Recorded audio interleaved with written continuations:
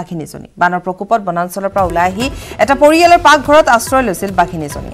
অৱশ্যে বিশেষজ্ঞ চিকিৎসকৰ উপস্থিতিত বন বিভাগে ট্ৰাংকুলাইজ কৰি উদ্ধাৰ কৰিছিল বাঘিনীজনী। তাৰ পিছতে বন্যপ্ৰাণী উদ্ধাৰ আৰু পুনৰ সংস্থাপন কেন্দ্ৰত চিকিৎসা প্ৰদান কৰি বনাঞ্চলত মুকলি কৰি দিয়া হয় বাঘিনীজনী।